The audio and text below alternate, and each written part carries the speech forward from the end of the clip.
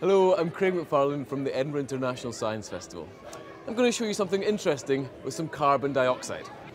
Carbon dioxide is an invisible gas. We breathe it out. But we've got some here that's been frozen down to 79 degrees below zero. Dry ice.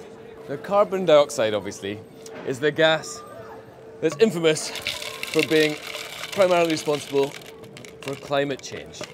So, from our power stations, like this, we release so much, billions and billions of tons of carbon dioxide every year. Now, as well as changing the climate, this has an effect on our oceans. And I've got a nice little demonstration to show you how. Here is our ocean.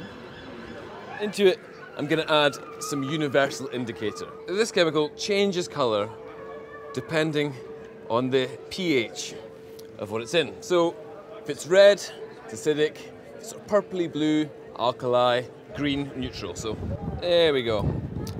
A nice green. Burning fossil fuels to create electricity uses huge amounts of carbon dioxide.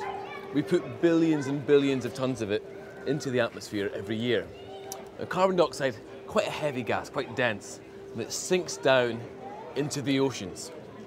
So let's see what happens when carbon dioxide dissolves into water.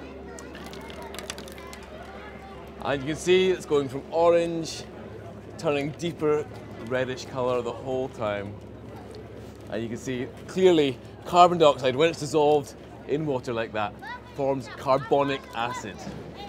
Pretty nasty stuff. All this carbon dioxide we're putting out into the atmosphere does affect our oceans, and something has to be done about it.